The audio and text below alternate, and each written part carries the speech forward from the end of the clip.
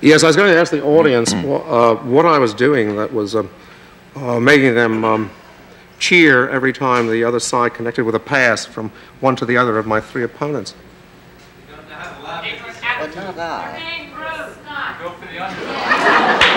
Why, that's fair. Uh, someone said I'm rude, and someone said I'm being a snot.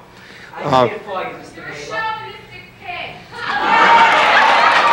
Wait, oh, oh, the we joint is loaded with libbies. Oh, oh, my Gore, my God, it wasn't enough to trundle Janet Flanner along, the most formidable presence in the history of television, but you had to load the balcony with your libbies, your little libbies. Nowhere else to go for a good laugh. Well, now wait a minute. There was only one lady's voice that rang out. Do you consider that loaded? It was the voice of legions.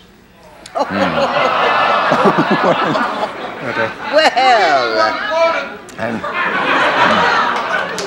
Why do you I'm- have to argue so negatively and insulting to your guests or the other people out They're not my guests. They're not my guests any more than they're your interesting. She guests. assumes it's your show now. I mean is, why do you have to answer them with always insults and nasty statements, and they're they're answering you maturely and with dignity? Well,